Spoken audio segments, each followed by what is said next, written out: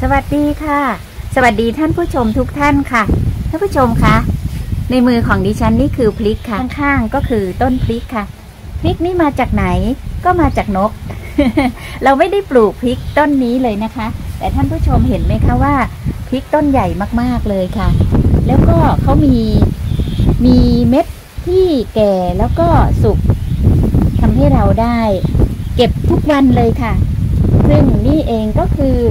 ประโยชน์ที่เราได้จากการอยู่ในที่ที่มีนกมาอาศัยอยู่ร่วมกับเรานั่นเองค่ะ ดิฉันก็เก็บพริกไปทำน้ำพริกไปทำกับข้าว ได้อยู่ทุกวันค่ะ ไม่ต้องไปซื้อพริกที่ไหนเลย วันนี้สารคดีชุดนกกระจอกตาลมาถึงตอนที่ 21 แล้วค่ะ การฟักไข่นั้นนอกจากจะมีแผ่นอกของแม่นก ที่มีความร้อน มีอุณหภูมิที่เหมาะสมแล้ว ก็ยังมีปัจจัย ที่พ่อนกแม่นกช่วยกันคาบเข้ารัง นั่นก็พ่อนกและแม่นกได้กระวีกระวาดออกไปเก็บยอดของหญ้าตีนนกที่แห้งแล้ว และมีลักษณะนุ่มพอที่จะนำมารองรัง นั่นย่อมแสดงว่าลูกนกน้อยกำลังจะเกิดแล้วค่ะ ท่านผู้ชมคะ มีปัจจัยอะไรบ้างที่สำคัญในการฟักไข่ของนก เราเคยเห็น แม่นก กลับเข้ามาที่รังในขณะที่ตัวเปียก แล้วก็ออกมาจากรังในขณะที่ตัวเปียก ตอนนั้นยังไม่มีข้อมูลเพิ่มเติมเนื่องจากยังไม่ได้ค้นคว้าค่ะ เลยไม่ทราบว่าทำไมนกถึงต้องทำตัวเปียก มาวันนี้เมื่อถึงวันที่ 11 12 ของการกกไข่ ซึ่งจะเป็นระยะที่น่าจะมีการฟักไข่ออกมาแล้ว จึงอยากจะนำเสนอว่าปัจจัยอะไรที่มีส่วนทำให้การฟักไข่เป็นไปได้ง่าย และปลอดภัยต่อลูกนกที่จะออกจากไข่ เดี๋ยวเชิญท่านผู้ชม ไปชมสารคดีชุด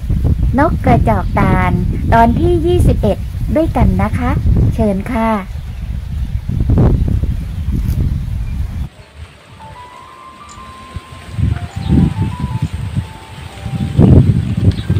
ตอนที่ 21 เป็นการถ่ายทำจากวิดีโอของวันที่ 7 มิถุนายน เราเฝ้าดูพฤติกรรมของพ่อนกแม่นก เป็นเวลาหนึ่งชั่วโมงค่ะ วันนี้ลมพัดค่อนข้างจะแรงค่ะ ต้นมะขามเทศก็โยกไปมา แต่ก็ไม่ได้ทำปัญหาให้กับพ่อนกแม่นกที่เพียรพยายาม ออกไปด้านนอกรังเพื่อที่จะนำสิ่งที่มีประโยชน์ที่สุดกลับเข้ามาให้กับลูกน้อยที่กำลังจะเกิดขึ้นมาค่ะ วันนี้เป็นช่วงเวลาของการกกไข่ อาจจะอยู่ในระยะฟักไข่ แม่นกก็ได้คาบสิ่งที่อ่อนนุ่มเป็นยอดของหญ้าตีนนก ซึ่งมีเมล็ดของหญ้าติดอยู่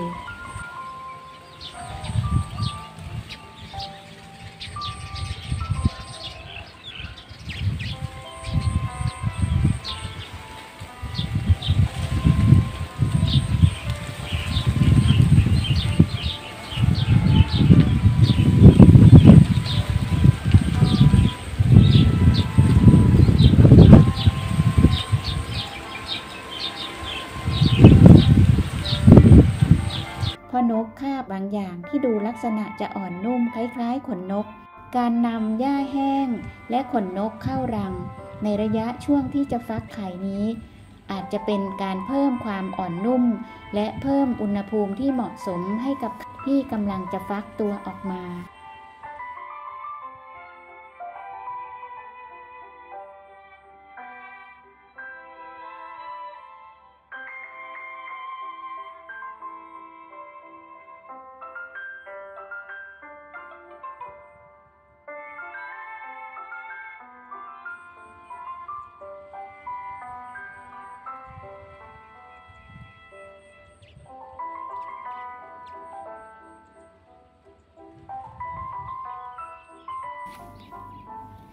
วันนี้พ่อนกและแม่นกแทบจะไม่ได้พักผ่อนเลยค่ะ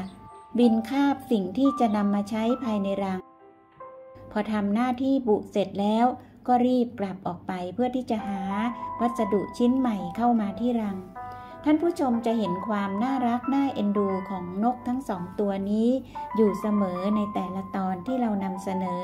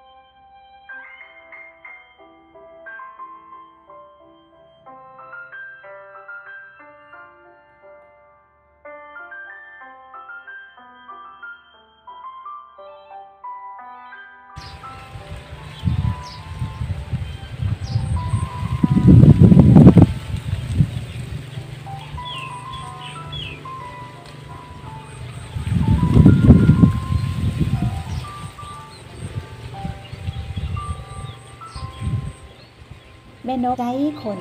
ที่หน้าอก ซึ่งเราจะสามารถมองเห็นจุดสีดำที่อยู่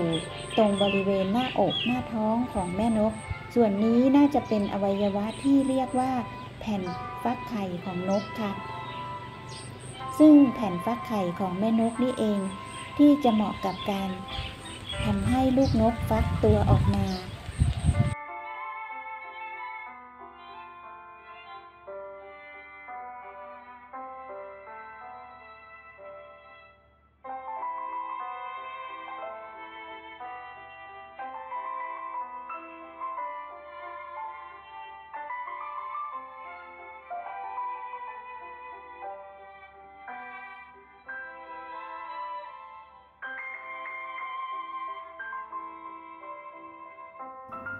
โดยปกติแล้ววงนกกระจอกจะกกไข่หรือฟักไข่ 11ถึง12 วัน ระยะเวลาของการเข้ารังกกไข่ นับมาถึงวันนี้น่าจะอยู่ราววันที่ 11 ของการกกไข่ วันนี้ลูกนกน่าจะฟักออกมาจากไข่ ซึ่งเป็นที่น่าเสียดายที่เราไม่สามารถที่จะเข้าไปมองดูภายในรังของนกได้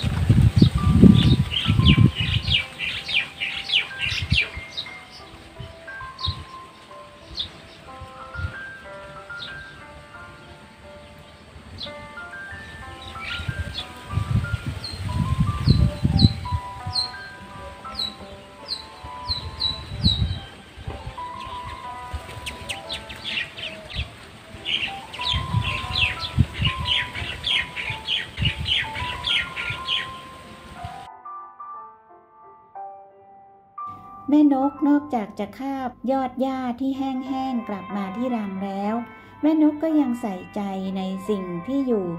รอบๆตัวค่ะ เมื่อมองเห็น แม่นกก็ได้นำหญ้าใส่เข้าไปภายในรังอีกเช่นเคย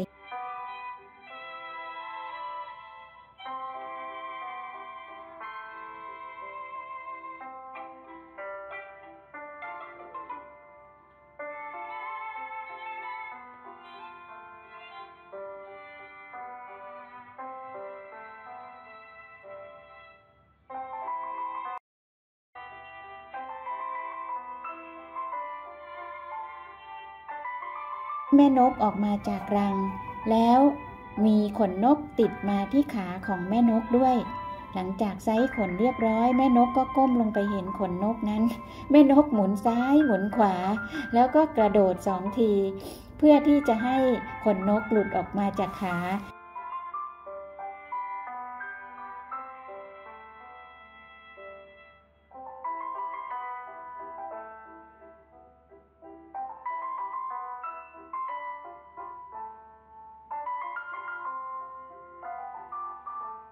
จากนั้นแม่นกก็กะจังหวะที่เหมาะสม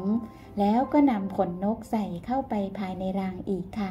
แม่น่ารักจริงๆเลยนะคะ แม่นกจ๋า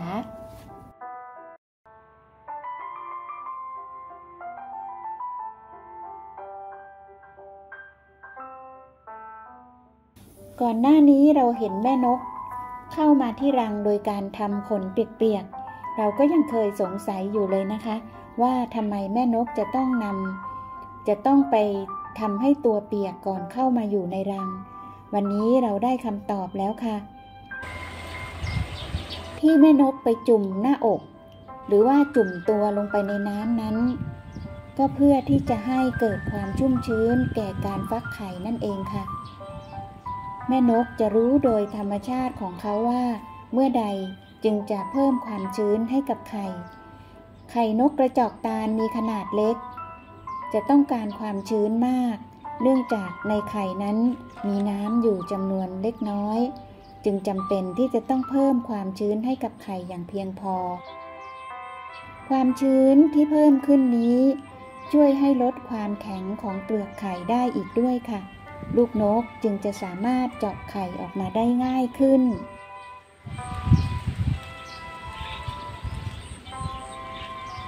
การฟักไข่ของแม่นกนี้ เป็นการถ่ายเทความร้อน จากตัวแม่นกไปยังไข่ โดยผ่านทางรอยฟักไข่ หรือแผ่นฟักไข่ที่เราเห็น เมื่อความร้อนและความชื้นที่ให้กับไข่นั้นเหมาะสม ลูกนกก็จะเริ่มเจาะเปลือกของไข่ออกมา และก็จะฟักออกมาจากไข่ได้โดยง่าย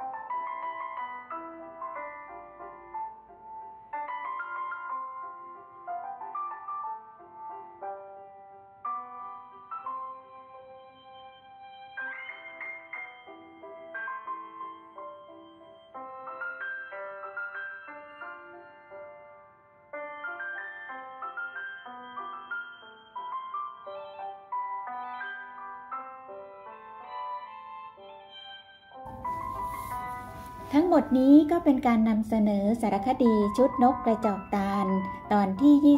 21 ซึ่งเป็นการดูนกที่น่ารังในวันที่ 7 มิถุนายนค่ะ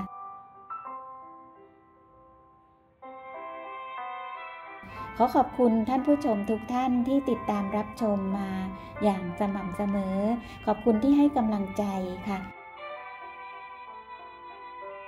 ขอให้ทุกท่านมีความสุข มั่งมีสีสุข แล้วพบกันใหม่กับสารคดีชุดนกกระจอกตาล ที่จะนำเสนอให้ท่านผู้ชมได้รับชมอย่างต่อเนื่องในตอนต่อไปสำหรับวันนี้ลาไปก่อน ขอบคุณและสวัสดีค่ะ